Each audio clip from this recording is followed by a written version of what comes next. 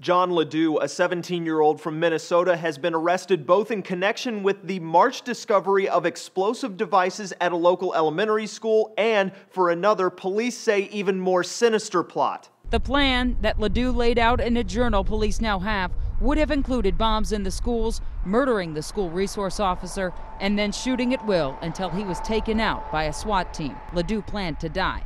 The mentioned journal was reportedly 180 detailed pages, and police say the plan was originally to be executed April 20th, a nod to another American tragedy. In the journal, police say LaDue wrote he idolized the Columbine shooters, the teens who executed the deadly school shootings on April 20th, 1999 in Colorado. However, the date fell on a Sunday this year, so LaDue didn't act. Police say LaDue was also going to start a fire in rural Waseca to distract first responders and then go to the school to kill as many people as possible. Officers in a press conference today admit the only reason LaDue is under arrest now is because someone spotted him going inside a rented storage unit on Tuesday evening and thought it looked suspicious. By doing the right thing, unimaginable tragedy, tragedy has been prevented.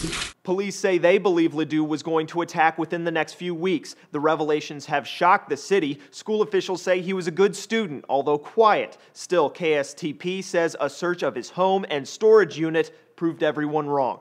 Police found seven guns, several bombs, bomb making chemicals, and a pressure cooker. KARE reports a juvenile petition says LaDue has been charged with four counts of attempted first degree murder. This comes a little more than a month after explosives were found in melting snow outside an elementary school, neither of which hurt anyone, but police believe LaDue is responsible for that incident as well. For Newsy, I'm Cliff Judy.